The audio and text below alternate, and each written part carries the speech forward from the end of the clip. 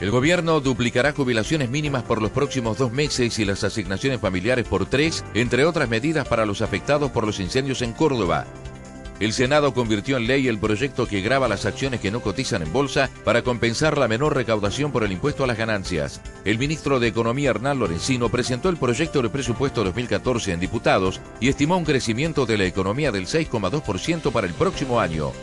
Aldo Rico anunció su pase al masismo y anunció que apoyará a Sergio Massa, a quien definió como un buen dirigente.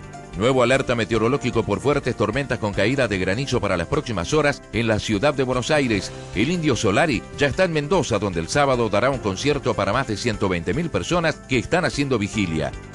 Grondona negó que Barcelona haya pedido que Messi no sea convocado por la selección para los partidos ante Perú y Uruguay. Juan Mónaco abrirá mañana la serie de la Davis ante República Checa frente a Stepanek con el objetivo de acceder a las semifinales.